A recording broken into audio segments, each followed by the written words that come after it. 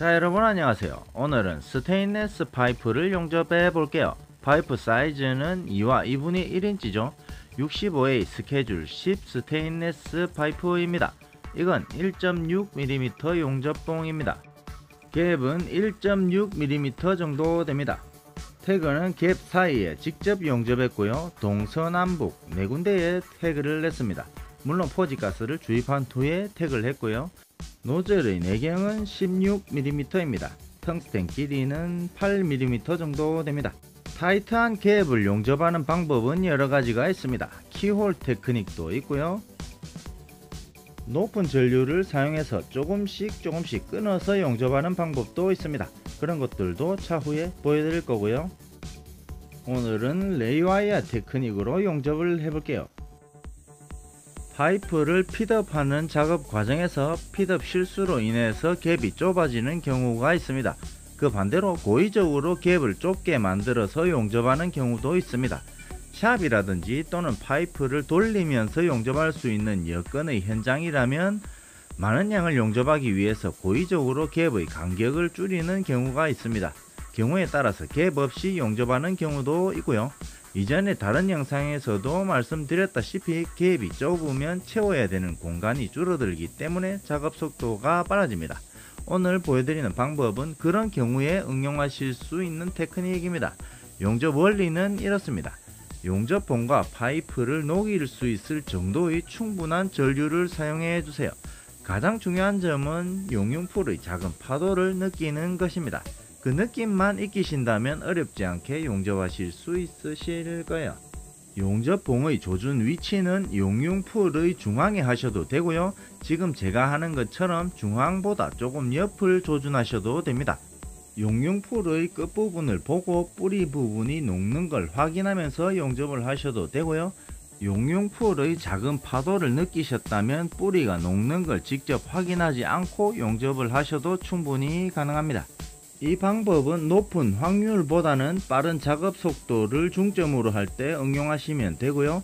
실수할 확률을 줄이기 위해서는 keyhole 테크닉이나 또는 조금씩 끊어서 용접하는 테크닉이 실수할 확률은 더 낮습니다.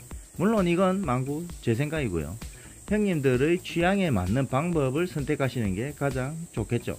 지금 용접하는 파이프는 65A 스케줄 10 스테인레스 파이프입니다. 이 파이프는 두께가 얇지만 이것보다 조금 더 두꺼운 파이프에도 충분히 응용이 가능한 용접 방법입니다. 이 용접 방법을 두꺼운 파이프에 적용하는 것도 차후에 보여드릴게요.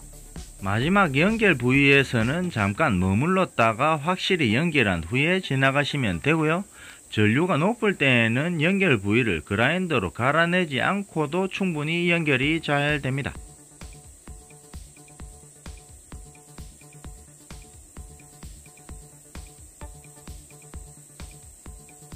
자 이렇게 용접이 됩니다. 이별량을 높여서 용접하는 방법이기 때문에 비드의 표면은 회색이 됩니다. 하지만 걱정하실 필요는 없습니다. 우리에게는 강력한 칫솔이 있기 때문입니다.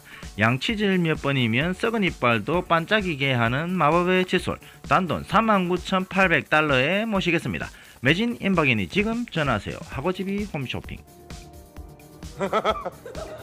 진실은 그와 다를 수도 있습니다. 뭐 어쨌든 표면을 청소한 후에 final 용접을 하시면 됩니다.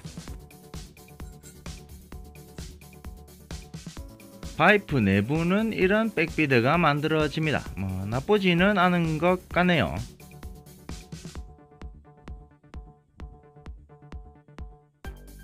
용접 부위의 표면이 깨끗하게 청소가 되었다면 final 용접을 하시면 됩니다.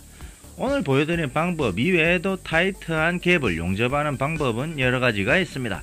그런 것들도 차후에 하나씩 보여드리도록 하겠습니다. 자 오늘은 여기까지. 오늘 영상이 유익했다면 구독과 좋아요 알림 설정까지 부탁드리고요. 자 그럼 오늘은 이걸로 마치고 다음 시간에는 또 다른 내용으로 다시 돌아오겠습니다. 여러분들의 의견은 어떻습니까? 여러분들의 의견과 노하우는 많은 동료들에게 큰 도움이 될 것이라고 생각합니다 재용접 방법이 반드시 정답은 아닙니다. 하지만 여러가지 상황에서 다양하게 응용할 수 있는 용접 방법 중에 하나이니 도움이 되셨으면 합니다. 이 영상이 모든 용접사들에게 더 성장할 수 있는 동기부여가 되고 그리고 조금이나마 도움이 되셨으면 하는 바람입니다. 시청해주셔서 감사합니다.